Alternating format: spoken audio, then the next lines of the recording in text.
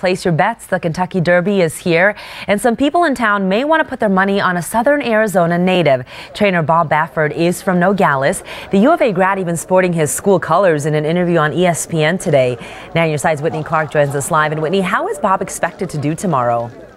Well, Baffert has two horses in the Derby tomorrow. American Pharoah is favored to win, and he's not the only Arizona grad at the track. Representing his alma mater, Bob Baffert comparing his two Derby contenders to that other big fight tomorrow. I think American Pharoah, he'd be hard to hit. He moves. He'd be hard to hit. Where Dortmund, he'll take the hit and just come, just keep coming at you. Baffert and Todd Pletcher, both Arizona alums and trainers, set to be in the national spotlight tomorrow at Churchill Downs. This is the one day in racing where I think racing gets much more coverage, and therefore you got two of our superstars out there, so it makes us proud. Pletcher has three horses in the run for the Roses, and Baffert has two.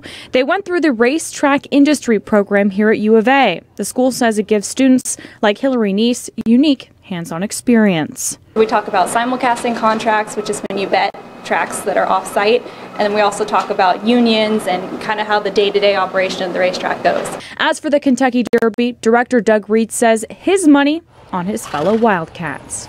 I like Baffert's and Pletcher's horses, so I probably need to use them a little bit, and probably as a long shot, maybe upstart or materiality in, in addition to using Todd's and, and Bob's horses.